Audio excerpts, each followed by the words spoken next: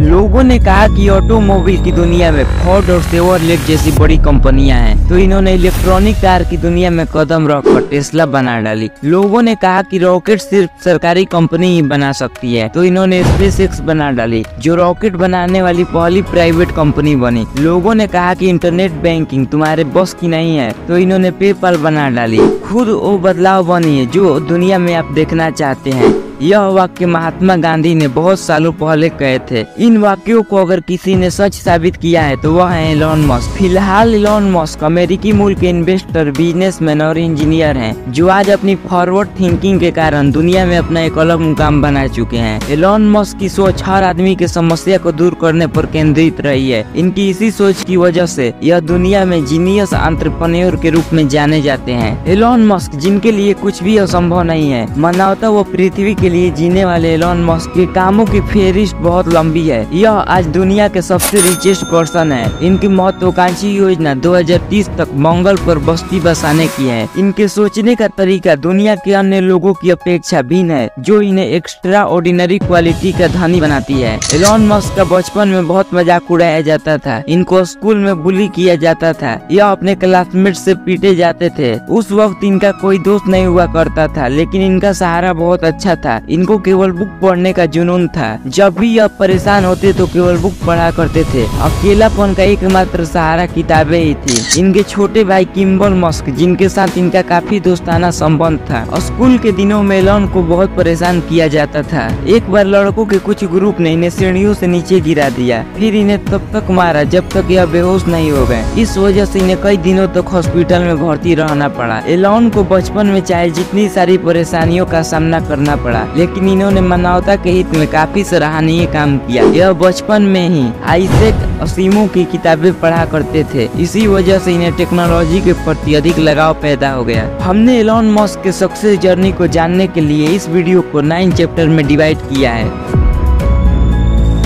बारह वर्ष की उम्र में ही एलॉन टेक्नोलॉजी में इंटरेस्ट लेने लगे। इन्होंने इसी उम्र में अपना एक वीडियो गेम बनाया। इसके साथ ही इसका पूरा बेसिक कोडिंग सीखना शुरू कर दिया। फिर ब्लास्टर नाम का एक वीडियो गेम बनाया। इस गेम को बाद में इन्होंने 500 डॉलर में बेच दिया। एलॉन खुद से ही हमेशा एक्सपर्टीज होते रहे हैं। हर चीज़ को इन्होंने बुक को पढ़ कर सीखा। इन्हें स्पेस ट्रेवल की बहुत ज़्यादा नॉलेज नहीं थी। बस इन्होंने बुक खरीदी, उसका पूर्ण अध्ययन किया। फिर इसका इम्प्लीमेंट करना शुरू कर दिया। इन्होंने डिग्री को कभी महत्व नहीं दिया। फिजिक्स और कंप्यूटर प्रोग्रामिंग से इन्हें बहुत लगाव रहा। एलॉन मॉस्क शुरू से ही एक्स्ट्रा ऑर्डिनरी क्वालिटी के धनी थे। प्रिटोरिया बॉयज़ हाई स्कूल से इन्होंने अपनी प्रारंभिक शिक्षा पूरी की। मिलिट्री सर्विस से बचने के लिए 17 साल की उम्र में कनाडा के क्वीनी यूनिवर्सिटी में दाखिला लिया। यहाँ दो सालों तक तो ग्रेजुएशन की पढ़ाई की। यहाँ से पेंसिल्वेनिया यूनिवर्सिटी में ट्रांसफ़र हो गए, जहाँ से इन्होंने उन्नीस सौ बानवे में फिजिक्स में बैचलर ऑफ़ साइंस की डिग्री ली। उन्नीस में एलॉन पीएचडी करने के लिए कैलिफ़ोर्निया शिफ्ट हो गए। लेकिन यहाँ पर रिसर्च शुरू करने के मात्र दो दिन के अंदर ही इन्होंने पढ़ाई छोड़ दी। उन्नीस सौ पंचानबे में एलॉन मस्क ने अपने भाई के साथ मिलकर जिप्टू नाम की एक सॉफ्टवेयर कंपनी शुरू की, जिसे आगे चलकर कॉम्पैक्ट ने 307 मिलियन देकर इसे खरीद लिया। इसके बिकने के बाद अपने 7 परसेंट शेयर से एलॉन को कुल 22 मिलियन मिले। उन्नीस सौ निन्यानबे में इन पैसों में से 10 मिलियन का इन्वेस्टमेंट करते हुए इन्होंने एक्स की स्थापना की। यह एक फाइनेंशियल सर्विस देने वाली कंपनी थी। फिर एक साल बाद यह कंपनी कन्फिनिटी नाम की एक कंपनी के साथ जुड़ गई। गई। इस कन्फिनिटी कंपनी का एक मनी ट्रांसफ़र सर्विस था, जिसे अब हम पेपाल के नाम से जानते हैं। तब से लेकर अब तक पेपाल मनी ट्रांसफ़र का एक लोकप्रिय माध्यम है। 2002 में ईबे ने एक अविश्वसनीय रकम 1.5 मिलियन देकर खरीद लिया। इस डील के बाद एलॉन मस्क को एक सौ पैंसठ मिलियन डॉलर मिले। एलॉन पेपाल के सबसे बड़े शेयर होल्डर थे। 2002 में लॉन ने अपने जो पैसे जमा किए, उन पैसों से 100 मिलियन की बड़ी कंपनी की शुरुआत की, जिसका नाम स्पेस एक्स रखा। कंपनी आजकल स्पेस व्हीकल बनाने का कार्य कर रही है। एलॉन के अनुसार, वह 2030 तक इंसानों को मंगल ग्रह पर बसाने की योजना पर काम कर रहे हैं। 2003 में लॉन मस्क ने दो लोगों के साथ मिलकर टेस्ला इंक नाम की एक कंपनी की स्थापना की। 2008 के बाद वह टेस्ला के सीईओ के रूप में कार्य कर रहे हैं। टेस्ला की खासियत इसके लाजवाब इलेक्ट्रॉनिक कारें हैं। 2006 में लॉन ने अपने चचेरे भाई की कंपनी सोलर सिटी में फाइनेंशियल कैपिटल मुहैया करवाई। 2013 से सोलर सिटी यूनाइटेड स्टेट में सोलर पावर सिस्टम मुहैया करवा रही है। यह यूनाइटेड स्टेट की दूसरी सबसे बड़ी कंपनी बन गई। आगे चलकर 2016 में टेस्ला ने सोलर सिटी को अपने अंतर्गत ले लिया। आज के समय में सोलर सिटी पूर्ण रूप से टेस्ला के अंतर्गत कार्य कर रही है। दिसंबर 2015 में एलॉन ने एक आर्टिफिशियल इंटेलिजेंस रिसर्च कंपनी की शुरुआत की, जिसका नाम ओपन एआई रखा गया। वह इसके तहत मानवता के लिए आर्टिफिशियल इंटेलिजेंस को फ़ायदेमंद और सुरक्षित बनाना चाहते हैं। 2016 में एलॉन मस्क न्यूरा लिंक नाम की एक कंपनी के को फाउंडर बने। यह कंपनी आर्टिफिशियल इंटेलिजेंस और मानव ब्रेन को जोड़ने के कार्य में लगी हुई है। एलॉन बहुत तरह के अलग अलग कार्यों में लगे हुए हैं। इस बात से इन्होंने साबित कर दिया है कि इनके जैसा सोच रखने वाले व्यक्ति कुछ बड़ा कर पाता है। वैसे तो यह आज की एक जानी मानी हस्ती है। दुनिया भर में अपना नाम कमा चुके हैं। लेकिन इनका मानना है कि दुनिया में अभी भी बहुत सारी ऐसी चीज़ें हैं, जिन्हें और भी बेहतर करके मानव हितों में कार्य किया जा सकता है।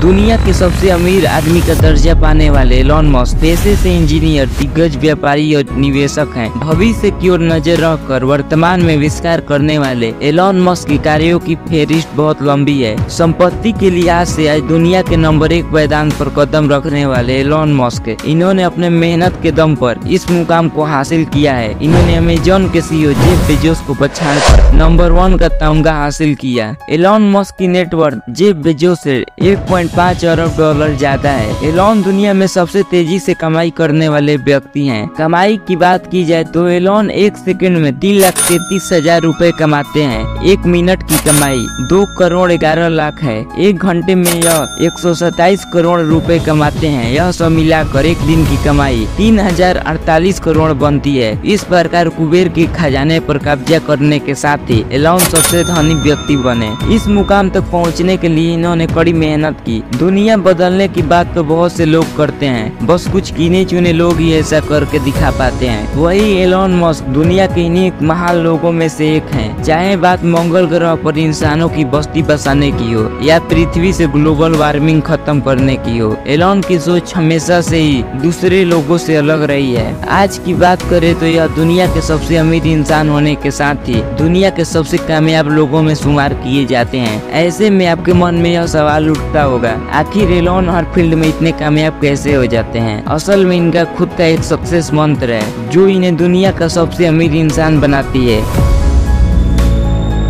एलॉन आज इसलिए कामयाब हैं क्योंकि इनके सोचने का तरीका दुनिया के दूसरे लोगों से बिल्कुल अलग है। इनकी खासियत है कि यह किसी भी काम को इम्पोसिबल नहीं मानते। इनका कहना है कि आखिर कोई काम इम्पोसिबल कैसे हो सकता है? वह प्रॉब्लम को तोड़ते हुए उस पॉइंट तक पहुँच जाते हैं जहाँ से वह काम नामुमकिन से मुमकिन नज़र आने लगता है। यह कोई रॉकेट साइंटिस्ट नहीं है। न ही इनके पास रियल स्पेस की कोई डिग्री है, लेकिन फिर भी इन्होंने स्पेस जैसी बड़ी कंपनी को खड़ा कर दिया। इसके अलावा इनके पास ऑटो इंजीनियरिंग का कोई भी डिप्लोमा नहीं था, लेकिन फिर भी इन्होंने टेस्ला को ऑटोमोबाइल की दुनिया में सबसे बड़ा बनाया। यह ऐसा इसलिए कर पाए क्योंकि इनके सोचने का तरीका दुनिया के अन्य लोगों से बिल्कुल अलग है। एलॉन के हिसाब से हम इंसान दो तरीकों से सोचते हैं। पहला तरीका वह होता है जिसको दुनिया के ज़्यादातर इंसान अपनाते हैं, इसको एनोलॉजी के नाम से जाना जाता है। दूसरा तरीका फ़र्स्ट प्रिंसिपल कहलाता है, जिसको दुनिया के बहुत कम लोग ही अपना पाते हैं। जैसा कि अब आप समझ गए होंगे। एलॉन उन्हीं चुनिंदा लोगों में से एक हैं।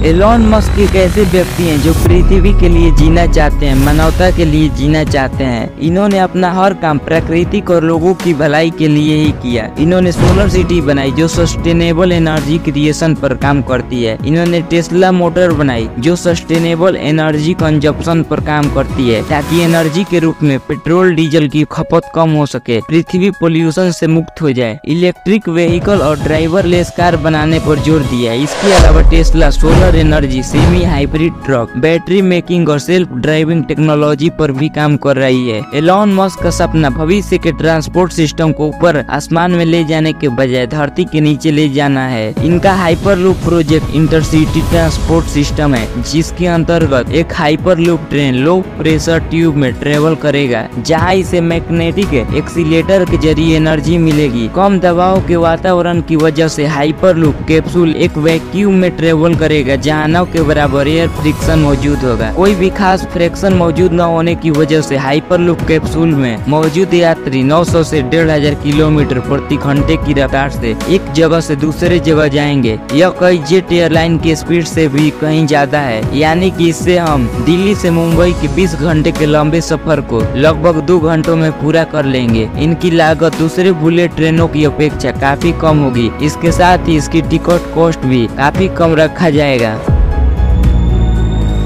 स्पेस एक्स एक स्पेस कंपनी है, जिसकी शुरुआत सन 2002 में एलॉन मस्क के द्वारा की गई थी। इस कंपनी को शुरू करने के पीछे एलॉन का मुख्य उद्देश्य रीयूजेबल रॉकेट का इस्तेमाल करना है, जिससे स्पेस ट्रांसपोर्टेशन की कॉस्ट को कम करना है। इसके साथ ही भविष्य में मंगल पर मानव बस्तियाँ बसाना है। अभी तक यह कंपनी अपने उद्देश्य में काफ़ी हद तक कामयाब हुई है, जो की दुनिया की सबसे बड़ी स्पेस कंपनी बनकर उभरी है। स्पेस एक्स रीयूजेबल रॉकेट के इस्तेमाल करने वाली दुनिया की पहली कंपनी है, जो कि वर्तमान समय में नेक्स्ट जनरेशन रॉकेट को डेवलप करने में लगी हुई है। रीयूजेबल रॉकेट टेक्नोलॉजी की मदद से स्पेस ट्रेवल के खर्च को काफ़ी कम किया जा सकेगा, जो कि भविष्य में स्पेस टूरिज़्म के नए रास्ते खोल सकता है।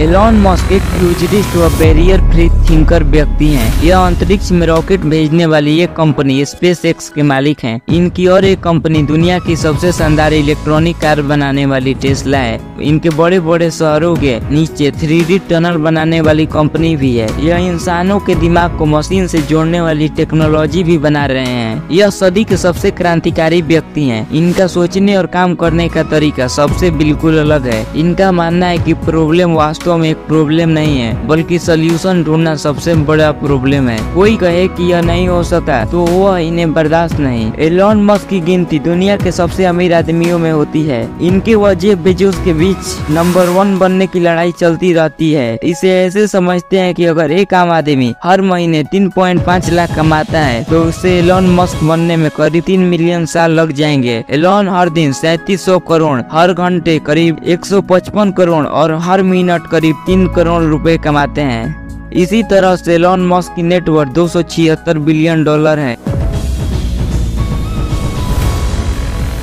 अब ट्विटर पूरी तरह से एलॉन मस्क का हो गया है। ट्विटर पर दुनिया भर में 21.7 करोड़ एक्टिव यूज़र हैं। एलॉन ने टेक्नोलॉजी की दुनिया में सबसे बड़ा डील को अंजाम दिया है। एलॉन ने ट्विटर को 44 बिलियन डॉलर में खरीद लिया ट्विटर ने 27 अप्रैल 2022 को रात बारह बजकर चौबीस मिनट आरोप एक प्रेस रिलीज़ जारी की, जिससे इस डील की जानकारी दी। एलॉन के पास ट्विटर की पहले ही 9.2 परसेंट हिस्सेदारी थी, लेकिन अब वो ट्विटर के अकेले मालिक बन चुके हैं। इस डील के बाद एलॉन मॉस की ट्विटर में 100 परसेंट हिस्सेदारी हो गई है। मुझे आशा है कि आपको यह वीडियो पसंद आया होगा और आपने इससे कुछ नया सीखा होगा। यदि आपने इस वीडियो को लाइक नहीं किया है तो लाइक बटन दबाएँ और इसे अपने दोस्तों के साथ शेयर करें। और इस तरह की और भी शानदार वीडियो के लिए मेरे चैनल को सब्सक्राइब करना ना भूलें। Thanks for watching this video मिलते हैं अगले वीडियो में। तब तक के लिए जय हिंद।